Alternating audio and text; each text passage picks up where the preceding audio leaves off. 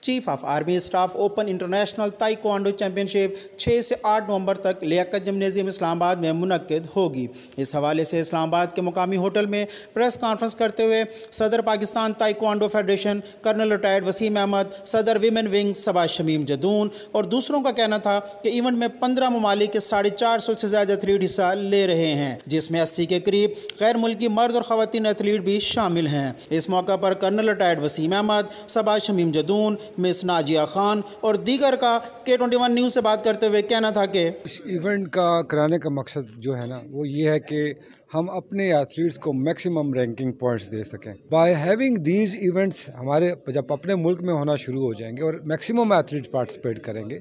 تو وہ ان چیزوں سے ان کی رینکنگ امپروو ہوگی اور ڈیفینیٹلی جو ان کا ایک لیول آف کانفیڈنس ہے وہ اوپر چلا جائے پاکستان کی تائیکوانڈو کی ہسٹری میں پہلی دفعہ یہ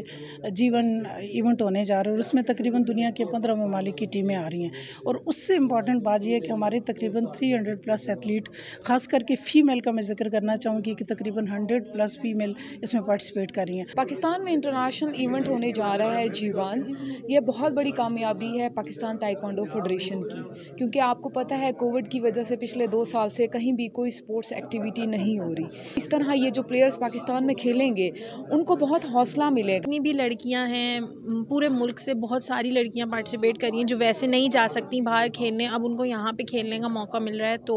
یہ بہت ہی ایک اچھی اپارچونیٹی ہے سب کے لیے۔ ایونٹ میں دو سو کے قریب مقابلے ہوں گے جنہیں نو ممالک کے ریفریز سپروائز کریں گے۔ پچھلے دو سے تین سال کے گیپ کے بعد پاکستان میں کسی بھی انٹرنیشنل ٹورنامنٹ کا ہونا اور پندرہ سے زائد ممالک کے پلیئرز کا اس میں شامل ہونا پاکستانی سپورٹس کے لیے خوش آئند ہے۔ کیمرہ مین یاسر نوید کے ساتھ Naseem Alghani zero fifty one news ٹامبا